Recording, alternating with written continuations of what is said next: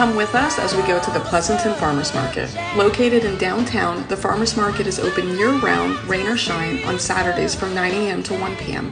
with all the produce you need and everything else from local honey, jams, handcrafted cheeses, pasta, meat, fresh cut flowers, and even handmade soaps with lots of samples for everyone.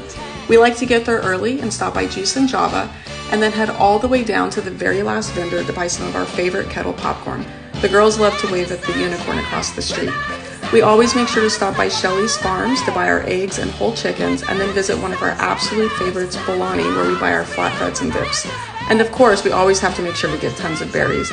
If you don't go to the farmer's market, there's still plenty to do with great places to shop, grab a cup of coffee, or enjoy breakfast or lunch. Fun fact this is where my engagement ring is from. Just keep in mind no smoking or dogs.